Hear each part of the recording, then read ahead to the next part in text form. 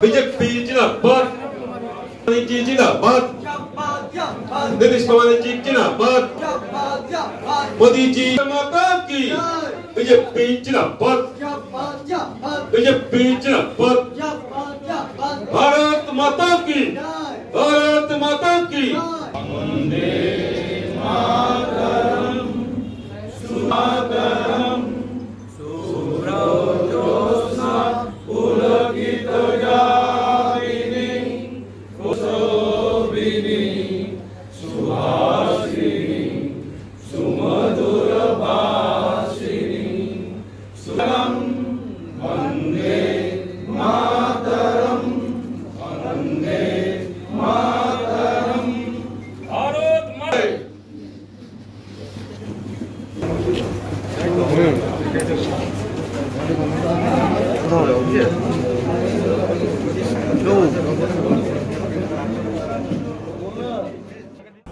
আপনারা প্রত্যেকেই জানেন যে গত সতেরো তারিখ থেকে আমরা শিলিগুড়ি থেকে আমাদের শহীদ সম্মান যাত্রার সূচনা হয়েছিল।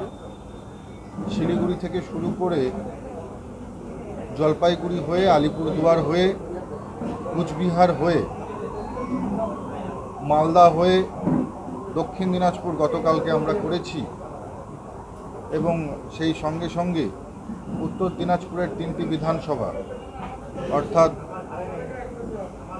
কালিয়াগঞ্জ, হেমতাবাদ এবং রায়গঞ্জ।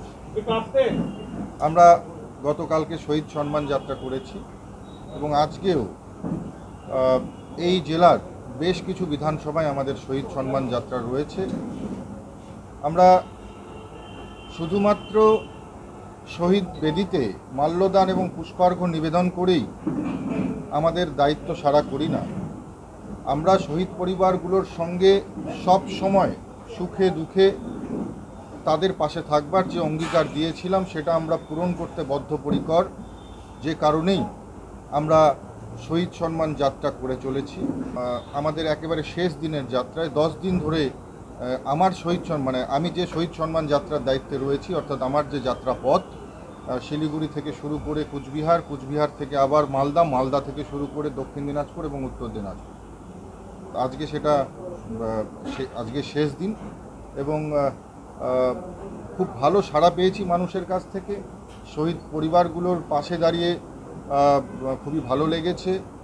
এবং সেই শহীদ পরিবারের যেমন পাশে দাঁড়িয়েছি, তেমন শহীদের সেই জন্মভূমিকে, সেই পবিত্র মাটিকে প্রণাম করে কাজ করবার, লড়াই করবার যে তাগিদ, সেটা আরও বেশি বেশি করে তৈরি হয়েছে।